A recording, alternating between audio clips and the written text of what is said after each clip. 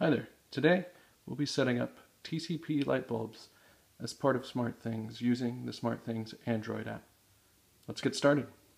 First, I'm going to access the left menu and tap on Apps and then Explore Smart Apps.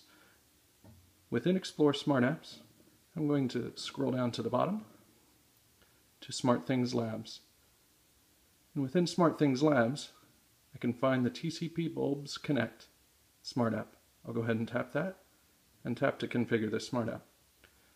It might take just a moment for this Smart App to discover my TCP bulbs on my local network.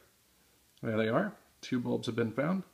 I'm going to go ahead and tap to choose which ones I want to add to SmartThings. In this case, Bedroom LED 1 and Bedroom LED 2. So those are selected. I'll tap Done and it'll be returned to the app screen.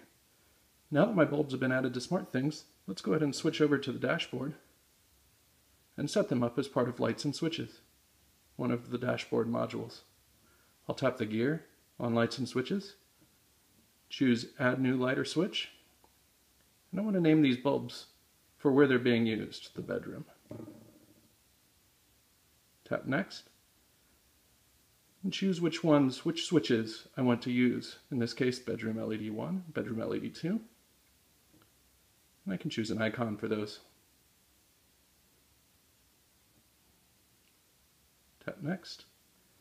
If I wanted to, I could set up automations and have those lights turn on or off using schedules or based on other triggers. But in this case, I'll just tap Done. I'll be returned to the dashboard, where now I have the ability within lights and switches to control using a shortcut whether those bedroom lights are on or off. That's it. Thanks for watching.